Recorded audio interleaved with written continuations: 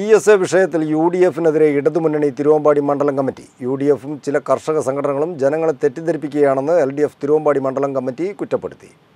E S A പ്രശ്നത്തിൽ U D എഫും ചില കർഷക സംഘടനകളും ചേർന്ന് ജനങ്ങൾക്കിടയിൽ തെറ്റിദ്ധാരണ പരത്താനാണ് ശ്രമിക്കുന്നതെന്ന് എൽ ഡി എഫ് തിരുവമ്പാടി മണ്ഡലം കമ്മിറ്റി കുറ്റപ്പെടുത്തി. കേന്ദ്രത്തിൽ കോൺഗ്രസ് സർക്കാർ ഉണ്ടായിരുന്ന സമയത്ത് ജയറാം രമേശ് പരിസ്ഥിതി വനംവകുപ്പ് മന്ത്രിയായിരിക്കുകയാണ്. പശ്ചിമഘട്ട മേഖലയ്ക്ക് പുറത്ത് ബഫർ സോൺ എന്ന പ്രശ്നം ആദ്യമായി ഉയർന്നു വന്നത്. മാധവ് ഗാഡ്ഗിലിനെയും കസ്തൂരിരംഗനെയും കമ്മീഷണറായി വെച്ചതും ഇക്കാലത്താണ്. ഉമ്മൻചാണ്ടിയുടെ കാലത്ത് എം എൽ എമാരുടെ പരിസ്ഥിതി കമ്മിറ്റിയിൽ ഇന്നത്തെ പ്രതിപക്ഷ നേതാവ് വി ഡി സതീശനും ടി എൻ പ്രതാപനും ചേർന്ന് ബഫർ സോൺ പതിമൂന്ന് കിലോമീറ്റർ ആവാം എന്നാണ് നിർദ്ദേശിച്ചത്.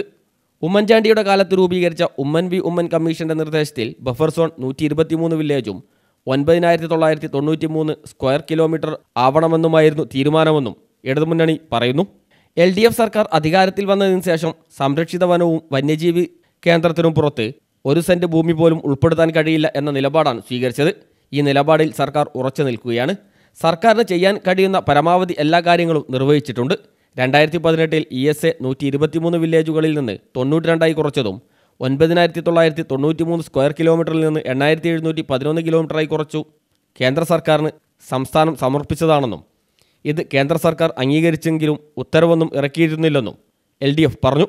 കൂടുതൽ പരിശോധന വേണമെന്ന രണ്ടായിരത്തി ഇരുപത്തിരണ്ടിലെ നിലപാടിന്റെ ഭാഗമായി രണ്ടായിരത്തി ഇരുപത്തിനാല് മാർച്ച് മാസത്തിൽ സർക്കാർ തയ്യാറാക്കിയ ഇ എസ് എ അതത് ജില്ലകളിൽ ജില്ലാ കളക്ടറുടെ അധ്യക്ഷതയിൽ യോഗം ചേർന്ന് പരിശോധിക്കുകയും ജനങ്ങളുടെ പരിശോധനയ്ക്കായി ഗ്രാമപഞ്ചായത്തുകൾക്ക് കൈമാറുകയും ചെയ്തിട്ടുണ്ട്. തിരുവമ്പാടി കോടഞ്ചേരി നെല്ലിപ്പൊയിൽ പുതുപ്പാടി എന്നിവിടങ്ങളിൽ ഈ പരിശോധന പൂർത്തീകരിച്ചിട്ടുണ്ട്. പഞ്ചായത്തുകൾ നൽകിയ നിർദ്ദേശങ്ങൾ കൂടി പരിഗണിച്ച റിപ്പോർട്ട് ഗവൺമെന്റ് പരിശോധിച്ച് കേന്ദ്ര സർക്കാരിന് സമർപ്പിക്കുകയാണ് ചെയ്യുക. രണ്ടായിരത്തി ജൂലൈ മാസം വന്ന കേന്ദ്ര സർക്കാരിന്റെ വിജ്ഞാപനം അനുസരിച്ച് അറുപത് ദിവസം ആക്ഷേപങ്ങൾ സമർപ്പിക്കാനുള്ള അവസാന തീയതിയാണ്. ആയത് സെപ്റ്റംബർ മാസം ഇരുപത്തെട്ടാം തീയതിയാണ്. രണ്ടായിരത്തി ഇരുപത്തിനാല് മാർച്ച് മാസത്തിൽ ഇ എസ് എ മാപ്പുമായി ബന്ധപ്പെട്ട ഫീൽഡ് തല പരിശോധനയും അഭിപ്രായ രൂപീകരണവും പൂർത്തീകരിച്ചിട്ടുണ്ട്. കാലാവധി പൂർത്തീകരിക്കുന്ന സെപ്റ്റംബർ ഇരുപത്തെട്ടിന് മുമ്പ് സംസ്ഥാന സർക്കാർ ജനവാസ മേഖലകളെ പൂർണമായി ഒഴിവാക്കിക്കൊണ്ട് പ്രസ്തുത പ്രദേശത്തിന്റെ ഇ എസ് എ മാപ്പ് അക്ഷാംശ രേഖാംശ രേഖ ജി ഐ എസ് മാപ്പ് ഉൾപ്പെടെ കേന്ദ്ര സർക്കാരിന് സമർപ്പിക്കുമെന്നും എൽ ഡി എഫ് പറഞ്ഞു. ഈ കാര്യങ്ങൾ വ്യക്തമാക്കി മുഖ്യമന്ത്രിയുടെ വാർത്താക്കുറിപ്പിൽ അറിയിച്ചിട്ടുണ്ട്.